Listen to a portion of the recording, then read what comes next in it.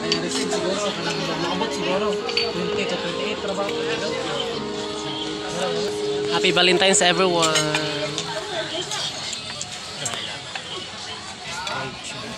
Ay, ay, nahutdan. Ako may rice. Plato. Oh, ba? May plato dyan.